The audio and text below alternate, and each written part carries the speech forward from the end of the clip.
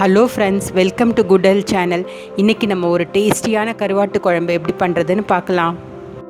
இப்போ இந்த கருவாட்டு குழம்பு செய்கிறதுக்காக நான் வந்து உப்பு துண்டுன்ற கருவாடு வந்து மூணு வாட்டி நல்லா வாஷ் பண்ணிவிட்டு அரிசி கழுவின தண்ணியில் இதே மாதிரி ஊற வச்சுருக்கேன் நல்லா.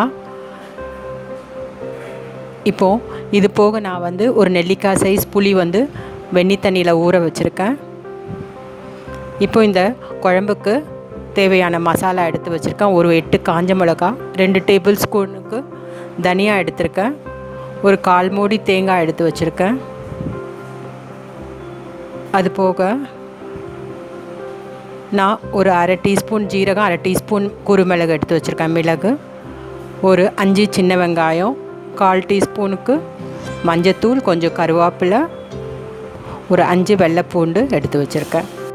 இப்போ இந்த குழம்பு தாளிக்கிறதுக்காக இன்னொரு பிளேட்டில் வந்து நான் ஒரு பத்து சின்ன வெங்காயம் வெட்டி வச்சுருக்கேன். ஒரு பத்து வெள்ளைப்பூண்டு கொஞ்சம் கருவேப்பிலை ஒரு ரெண்டு பச்சை மிளகாய் எடுத்து வச்சுருக்கேன். இப்போ எடுத்து வச்சுருக்க மசாலா பொருள்லாம் ஒரு மிக்சி ஜாரில் எடுத்து நம்ம அதை நல்லா ஃபைன் பேஸ்ட்டாக அரைச்சிக்கணும் வடியாக அரைச்சிக்கணும் நல்லா. அப் இப்போ நான் வடியை அரைச்சி எடுத்துகிட்டு வந்துட்டேன். இப்போ நான் இதை ஒரு பவுலில் எடுத்து வச்சுக்கிறேன் இந்த பேஸ்ட்டை இப்போ எடுத்து வச்சுருக்க புளி தண்ணியை இந்த மசாலா பேஸ்ட்டோடு நம்ம ஆட் பண்ணிக்கலாம் நல்லா. ஆட் பண்ணிவிட்டு தேவையான அளவுக்கு தண்ணியும் இப்போ இதில் சேர்த்துக்கிட்டு நம்ம கரைச்சி வச்சுட்டு நம்ம எடுத்து வச்சுருக்க ட்ரை ஃபிஷ்ஷை வந்து இதில் சேர்த்துக்கலாம். உப்பு துண்டத்தை நான் எடுத்து சேர்த்துட்டு மிக்ஸ் பண்ணி வச்சுக்கிறேன். உப்பு எதுவுமே இதுக்கு போட வேணாம். அதுலேயே உப்பு இருக்கும். வேணும்னா நம்ம ஃபைனலாக செக் பண்ணிவிட்டு போட்டுக்கலாம். இப்போ நான் ஒரு மண்சட்டி இந்த குழம்பு செய்கிறதுக்காக எடுத்திருக்கேன். இதில் ரெண்டு டேபிள் ஸ்பூனுக்கு எண்ணெய் எடுத்திருக்கேன். தேங்காய் எண்ணெய். எண்ணெய் நல்லா காயட்டும் இப்போது இப்போ எண்ணெய் நல்லா சூடாயிடுச்சு. நம்ம அரை டீஸ்பூனுக்கு கடுகு சேர்த்துக்கலாம். கடுகு நல்லா பொரியட்டும். கடுகு நல்லா பொரிஞ்ச பிறகு நம்ம எடுத்து வச்சுருக்க கருவேப்பிலை கொஞ்சம் சேர்த்துக்கலாம். இப்போ கருவேப்பிலை பொரியட்டும். இப்போ நான் எடுத்து வச்சுருக்க பூண்டு சேர்த்துக்கிறேன். பூண்டு கொஞ்சம் வதங்கின உடனே நம்ம எடுத்து வச்சுருக்க சின்ன வெங்காயமும் சேர்த்துக்கலாம் இப்போது வெங்காயம் நல்லா வதங்கட்டும் வதக்கி விட்டுக்கலாம். எல்லாத்தையும் மிக்ஸ் பண்ணி நல்லா வதக்கி விட்டுக்கலாம்.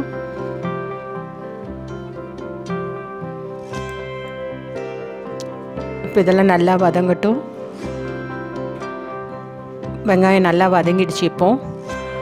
நான் எடுத்து வச்சுருக்க இந்த கிரேவியை நம்ம எடுத்து ஊற்றி கொதிக்க வைக்கலாம் நல்லா. இப்போ எடுத்து ஊ ஊற்றிக்கிறேன் இந்த சட்டியில். இப்போ இதெல்லாம் சேர்ந்து நல்லா கொதிக்கட்டும். பத்து நிமிஷத்துக்கு நம்ம மீடியம் ஃப்ளேமுக்கும் சிம்முக்கும் நடுவில் வச்சுக்கலாம்.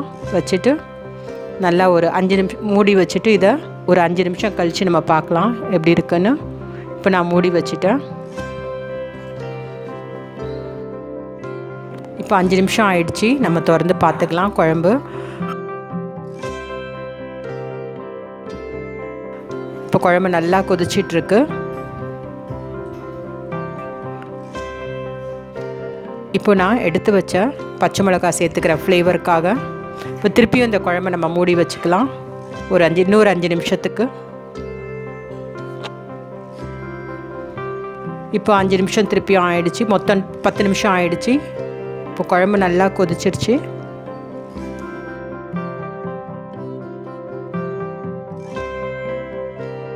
இந்த டைமில் நம்ம கருவேப்பிலை சேர்த்துட்டு நம்ம ஆஃப் பண்ணிக்கலாம் ஸ்டவ்வை.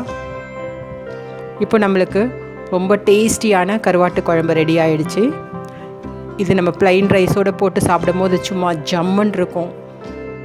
ஃப்ரெண்ட்ஸ் நீங்களும் இந்த கருவாட்டு குழம்பு உங்கள் வீட்டில் ட்ரை பண்ணிவிட்டு உங்களுடைய ஃபீட்பேக் என்னன்னு எனக்கு சொல்லுங்கள் தேங்க்யூ ஃப்ரெண்ட்ஸ் உங்களுக்கு இந்த ரெசிபி பிடிச்சிருந்துன்னா என்னுடைய சேனலை லைக் பண்ணுங்கள் சப்ஸ்கிரைப் பண்ணுங்கள் உங்கள் ஃப்ரெண்ட்ஸோடு ஷேர் பண்ணுங்கள் தேங்க்யூ